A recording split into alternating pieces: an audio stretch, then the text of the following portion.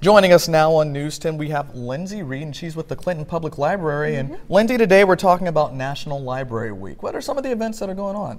Well, we're actually having some cool things go on this year. The first one that we're having is on April 16th. Um, it's going to be from 6 to 7.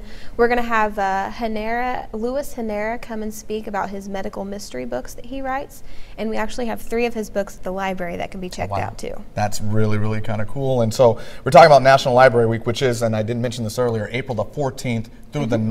19th. And that's just a good time for people to get out and go to your public library Yeah, and celebrate. small town. Yeah, absolutely. Talking about Clinton and, and, and areas like that for sure. You had mentioned that one event. What's, what's the other one that's going on? Uh, the other one that we're going to have, um, the Judy Green's Coon Holler Kids, they're a bluegrass band. They're going to come and play from 2 to 3 on April 19th as well. Oh, really? So Yes. they'll, they be playing at the library Yes, itself? it's actually after That's hours, cool. so Wow, so the library's staying open after hours, you know, Yeah. Mm-hmm. kind of changing the whole theme of shh, be quiet in the library. You're going to have some good bluegrass music Yep. there. That's kind of neat. So Yep. tell me a little bit about those events. How much do they cost, or, or are they uh, free, or, you know, how can people get involved Oh, they're totally free to the Excellent. public, and we're going to have refreshments and some snacks, so it'll be a good time. Absolutely. If people want to find out more information about all of these events, how do they do that? Um, we have a Facebook page. You just uh, go to Facebook and do Clinton Public Library, and Mm-hmm. we also have a website, which is Clinton Public clintonpl.public.in.us. Okay, that's a very long website. That that's awesome Yeah. that you can remember that all in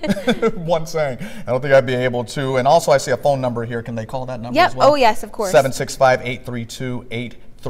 765-832-8349. And again, this is for National Library Week. It's going to be April 14th through the 19th. Lindsay, it sounds like a really fun event. I'm excited. All right, thank you so much for stopping by, and don't forget to go out and support your local library. All right, News 10 will be right back.